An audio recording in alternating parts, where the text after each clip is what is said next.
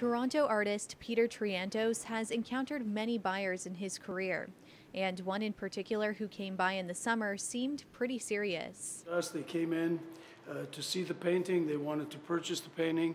Came in once, came in again twice. Knew quite a bit about me, the story about the painting. But on the day of the sale in July, which was over $10,000, Triantos said something didn't seem quite right. Kind of had a weird little feeling. I didn't really feel like everything was uh, up to, like normal. So just had a weird feeling the way he was acting, very kind of nervous. His intuition was strong enough that Triantos snapped a quick photo of the man's license plate. And then we got a call later on that uh, the sale wasn't that good, the credit card, something was up, and so we figured we lost the money, insurance didn't cover.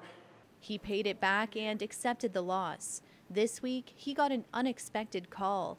Uh, my wife answers the phone. I was kind of listening in, and she says, Well, they found that they got the painting back. Got the guy. You believe this? No. I got my painting back. Toronto police say as part of an ongoing fraud investigation, officers searched a property last week where they recovered a painting.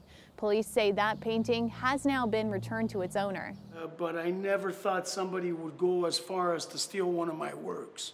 I am forgiving. I understand uh, people make mistakes, and that I do feel a little bit bad. I have no resentment to this guy. Who knows how he was thinking? And now people are making offers. But Triantos has to hold on to the piece until the investigation is complete. Here it is back. So now it kind of has a little bit of a soft spot to me. And uh, it made a full circle, like it says there, and run and rise, and so many things on there.